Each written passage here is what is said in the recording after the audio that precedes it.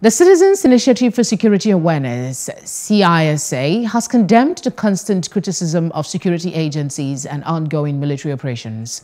National Coordinator of CS CISA, Chidi Omeje, while speaking to journalists, urged citizens to show more support for troops, saying constant criticism will affect the morale of troops on the field.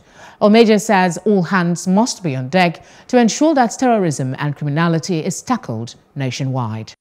Nigerians are right to demand a quick end to the menace of terrorism and banditry in any part of, of Nigeria. Yes, they are right to hold the government to account on how the various internal security operations are being prosecuted by our fighting forces. However, even more important is the fact that Nigerians must assess or evaluate those efforts with open mind and with a full understanding of dynamics of security challenges assailing the country and the nature of combat operations waged against them. This is against the backdrop of the fact that it has become customary for some vocal Nigerian commentators and a section of the media to analyze the various military operations from the standpoint and mindset of bias and condemnation.